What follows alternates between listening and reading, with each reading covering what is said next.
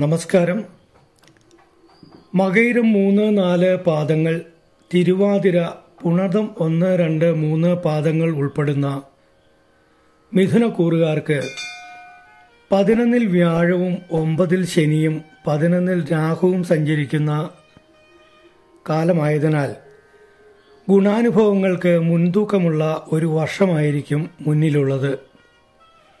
ജീവിത വിജയം ഉന്നത സ്ഥാനമാന ലബ്ധി തിളക്കമുള്ള വ്യക്തിത്വം അതിലൂടെ സാമൂഹികമായ അംഗീകാരം പുത്രലാഭം എന്നീ ഗുണാനുഭവങ്ങളും പിതൃസ്ഥാനീയർക്ക് ഗുണക്കുറവ് കൂട്ടുകെട്ടുകളിൽ നിന്ന് ദോഷാനുഭവങ്ങൾ ധർമ്മപ്രവർത്തികൾക്ക് തടസ്സം തുടങ്ങിയ ദോഷാനുഭവങ്ങളും ഈ കാലയളവിൽ അനുഭവപ്പെടാം.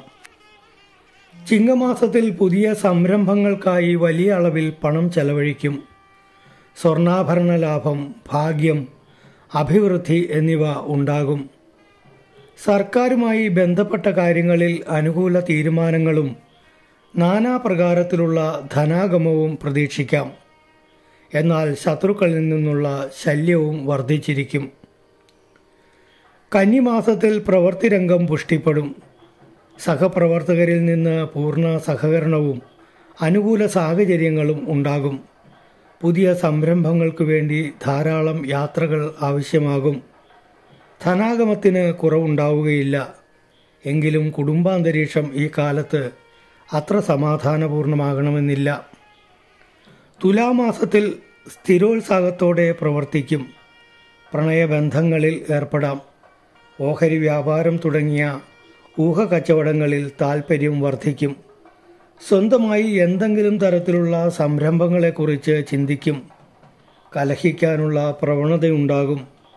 അനാവശ്യ ചിന്തകൾ ദേഹാസ്വാസ്ഥ്യം സന്താനങ്ങൾക്ക് ഗുണക്കുറവ് എന്നിവ ഈ കാലത്ത് അനുഭവപ്പെടാം. വൃശ്ചിക മാസത്തിൽ ഊർജസ്വലതയും ആരോഗ്യവും വീണ്ടെടുക്കുമെങ്കിലും പേശി സംബന്ധമായ രോഗങ്ങൾക്ക് സാധ്യതയുള്ള കാലമാണ്. കഠിനാധ്വാനത്തിന് തയ്യാറാകും. പ്രവൃത്തി രംഗത്ത് സഹപ്രവർത്തകരിൽ നിന്ന് ആഗ്രഹിക്കുന്ന തരത്തിലുള്ള പിന്തുണ ലഭിച്ചുകൊള്ളണമെന്നില്ല. എങ്കിലും കഠിനാധ്വാനത്തിലൂടെ ഉദ്ദേശിച്ച കാര്യങ്ങൾക്ക് പൂർത്തീകരണമുണ്ടാവും.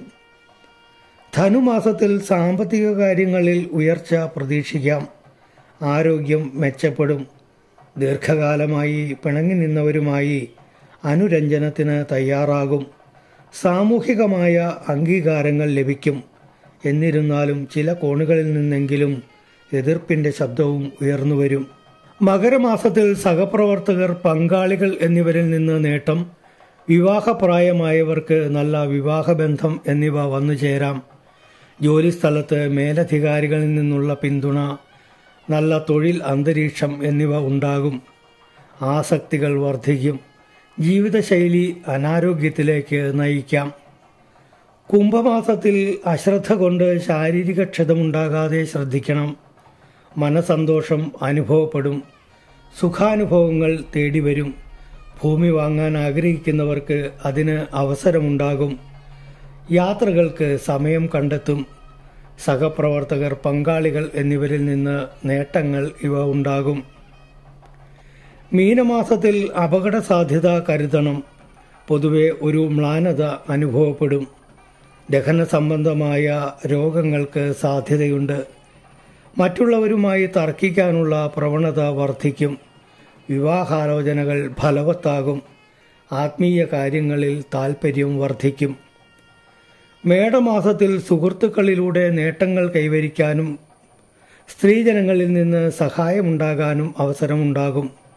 സാമൂഹികമായ അംഗീകാരങ്ങൾ നേടും. അനാവശ്യ കാര്യങ്ങൾക്കായി പണം ചെലവിടും. ആരോഗ്യ കാര്യങ്ങളിൽ അനാവശ്യ ഉത്കണ്ഠ വച്ചു പുലർത്തും.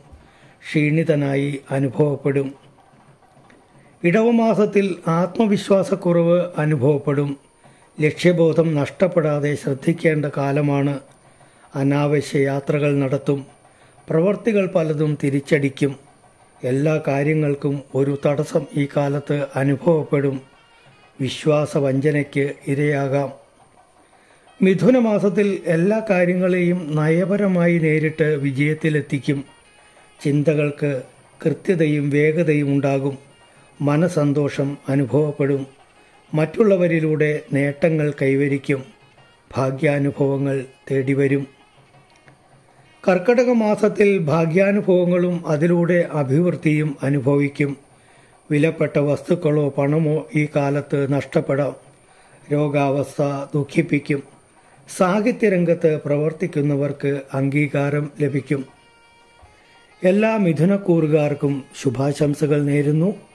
വീഡിയോ ഇഷ്ടമായാൽ ലൈക്ക് ചെയ്യാൻ മറക്കരുത്. മറ്റൊരു വിഷയവുമായി വീണ്ടും കാണുന്നതുവരെ നന്ദി നമസ്കാരം.